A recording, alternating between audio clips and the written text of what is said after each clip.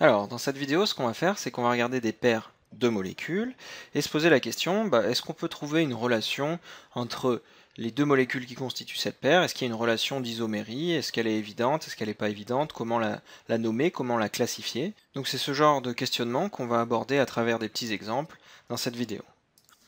Alors si on regarde ces deux premières molécules ici, à première vue elles ont l'air vraiment différentes puisque par exemple ici on a un oxygène qui est coincé entre deux groupes CH2, ici on a un groupement OH, donc déjà on voit qu'on n'a pas les mêmes liaisons chimiques, donc c'est mal parti. Par contre on peut quand même bah, compter les atomes, hein. ici on a 1, 2, 3, 4 atomes de carbone à gauche, 1, 2, 3, 4 atomes de carbone à droite, 2, 4, 6, 7, 8 hydrogènes à gauche, 2, 4, 6, 8 hydrogènes à droite, un oxygène, un oxygène. Donc malgré leur apparence très différente, ces deux molécules ont déjà en, en commun le même nombre d'atomes. Ces deux molécules ont une formule brute qui s'écrit comme C4H8O. Donc ces deux molécules sont constituées des mêmes atomes, mais les liaisons, l'agencement des atomes est complètement différent. On n'a pas les mêmes liaisons. Du coup, qu'est-ce qu'on peut dire de ces deux molécules? Ben, On peut dire que c'est des isomères. Et pour être plus précis, on va appeler ça des isomères de constitution.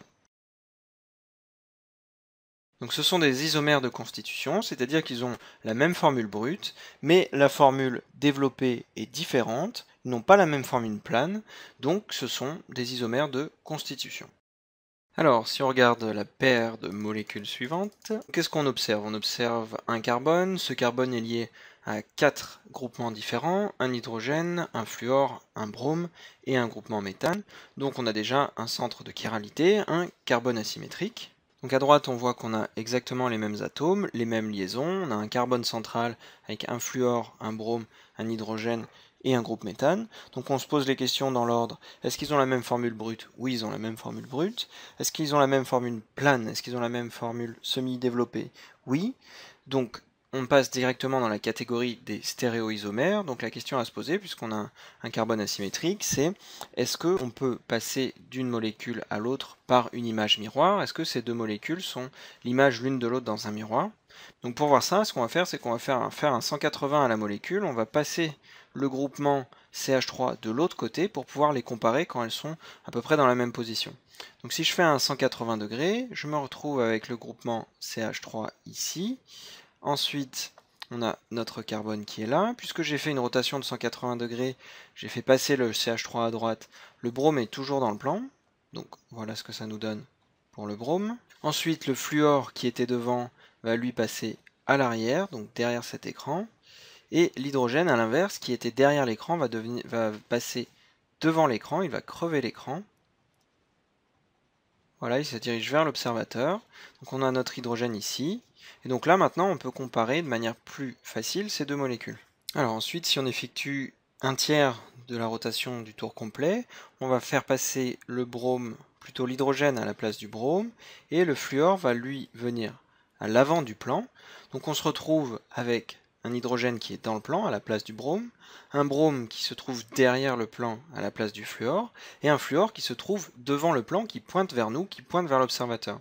Donc si on compare, après cette petite rotation, ces deux molécules, eh bien c'est exactement la même chose, puisqu'on a le fluor qui vient vers l'avant, le brome qui est vers l'arrière, l'hydrogène pardon dans le plan, et le groupement CH3 qui est à droite également dans le plan. Donc en fait, ces deux molécules, bien qu'elles puissent paraître différentes, sont exactement identiques. Il s'agit en fait de la même molécule. Alors, paire de molécules suivantes. Donc on a ici deux molécules qui ont une chaîne carbonée à 5 carbones, une chaîne en zigzag. De ce côté-là, qu'est-ce qu'on reconnaît? On reconnaît un centre de chiralité. Alors pourquoi c'est un carbone asymétrique? Ben Parce qu'ici on a un, groupement méthyle, un hydrogène, un fluor et tout ce groupement à droite ici. Donc on a quatre substituants différents sur un carbone, donc on reconnaît un carbone asymétrique. Ici c'est exactement la même chose, on a le chlore, l'hydrogène, le méthyle et toute la chaîne à gauche, donc on a un carbone asymétrique. Pour la molécule de droite, on a exactement en fait la même formule brute, on a les mêmes atomes, on a les mêmes liaisons, mais l'agencement spatial a l'air différent, donc c'est ce qu'on va regarder plus précisément. Et donc bien sûr on a aussi ces deux carbones qui sont des carbones asymétriques. Donc ce qui diffère ici entre ces deux molécules, c'est l'agencement en trois dimensions des atomes, donc on va parler de stéréoisomères. Alors est-ce que ces deux molécules sont images l'une de l'autre dans un miroir? On va essayer de le dessiner, donc on va imaginer que je dessine en blanc ici un miroir qui est derrière cette première molécule. Et on va se demander, on va se poser la question, quelle serait l'image de cette première molécule dans ce miroir? Donc le miroir est derrière la molécule. Donc si je redessine ce carbone asymétrique, puisqu'on fait une symétrie, une image miroir à l'arrière de la molécule, eh bien l'hydrogène qui pointait déjà à l'arrière va se retrouver à pointer vers l'avant. Le fluor qui pointait vers l'avant de l'écran, en prenant son image miroir, va pointer à l'opposé, donc à l'arrière. Donc la chaîne qui est dans le plan, elle ne change pas. Et Deuxième carbone asymétrique, on avait l'hydrogène qui pointe vers l'observateur, du coup il va se retrouver vers l'arrière, et le chlore qui partait vers l'arrière va se retrouver vers l'avant. Alors si on regarde bien cette image miroir, on a l'hydrogène qui pointe vers l'avant, le fluor vers l'arrière, comparé à la molécule de droite, hydrogène vers l'avant, fluor vers l'arrière, donc c'est pareil. Deuxième carbone asymétrique, chlore vers l'avant, hydrogène vers l'arrière, chlore vers l'avant, hydrogène vers l'arrière on a bien la chaîne en zigzag à 5 carbones. Donc en fait, cette image miroir, c'est exactement la molécule de droite. Donc on a bien deux molécules qui sont images l'une de l'autre dans un miroir. Donc ces deux stéréoisomères, on les appelle des énantiomères. Alors bien sûr, c'est un peu plus compliqué à voir que quand on a un seul carbone asymétrique, comme les exemples qu'on avait fait dans les vidéos d'avant, en faisant un petit effort de visualisation, on arrive à construire cette image miroir et on peut voir assez facilement qu'elle se superpose avec cette deuxième molécule. Donc pour résumer, ces deux molécules ont les mêmes atomes, elles ont les mêmes liaisons chimiques, par contre elles diffèrent dans l'agencement des atomes en trois dimensions, et comme on peut passer d'une molécule à l'autre en faisant l'image miroir, elles sont images miroirs l'une de l'autre, et eh bien donc ce sont des stéréoisomères et plus précisément des énantiomères. Alors, on passe à la paire de molécules suivante. Comme pour l'exemple précédent, on remarque qu'on a une chaîne carbonée à 1, 2, 3, 4, 5, 6, 7 carbones. 1, 2, 3, 4, 5, 6, 7. Donc on a la même chaîne carbonée. Ensuite, sur les carbones, on a branché un hydrogène, un brome, un hydrogène, un brome, un hydrogène, un chlore, un hydrogène, un chlore, un hydrogène, un chlore et un hydrogène, un chlore. Donc a priori, on a certainement affaire à deux stéréoisomères, c'est-à-dire qu'on a les mêmes atomes, les mêmes liaisons chimiques, mais un arrangement en trois dimensions qui est différent. Alors ça peut aussi être deux molécules identiques. Est-ce que c'est le cas? Alors ici on a un, deux, trois hydrogènes qui pointent vers l'avant. Ici on a un, deux hydrogènes vers l'arrière et un hydrogène vers l'avant. Donc on voit que si on retourne cette molécule, ce n'est pas la même, donc ce ne sont pas deux molécules identiques.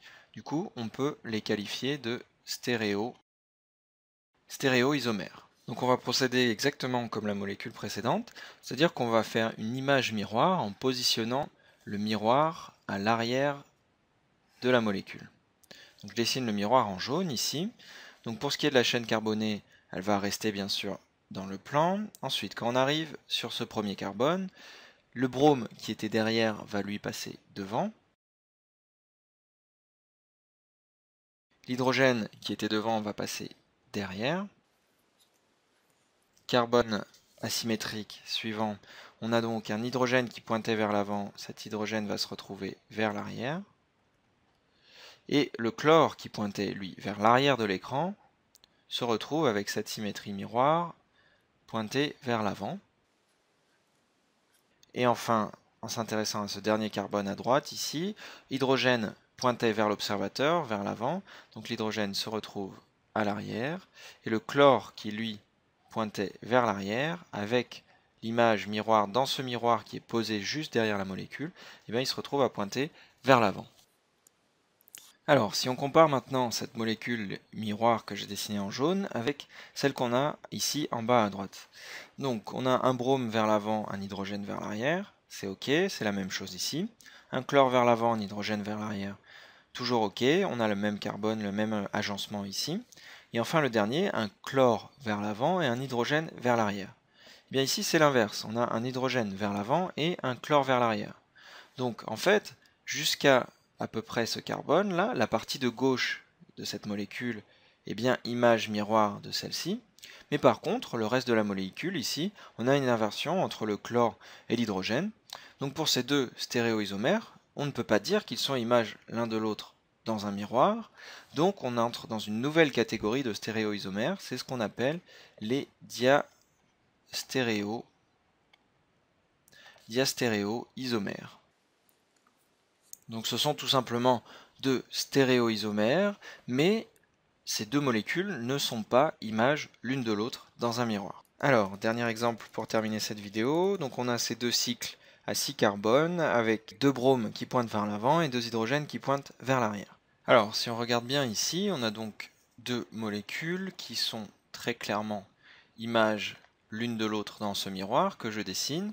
Donc on a un cycle à 6 ici avec un bromane hydrogène, un bromane hydrogène, et bien sûr la même chose puisque c'est l'image miroir de l'autre côté. Donc ici on a un carbone asymétrique. Donc pourquoi un carbone asymétrique? Parce qu'un brome, un hydrogène, une branche du cycle et une deuxième branche du cycle qui elle comporte un brome. Donc quatre substituants différents. On a bien un carbone asymétrique. De la même façon, ici on a exactement les mêmes substituants, donc un carbone asymétrique, un hydrogène, un brome, un cycle, une branche du cycle, pardon, et la deuxième branche du cycle qui comporte un brome. Donc on a deux carbones asymétriques sur ces deux molécules. Est-ce que pour autant on peut dire que c'est des stéréoisomères ou des énantiomères?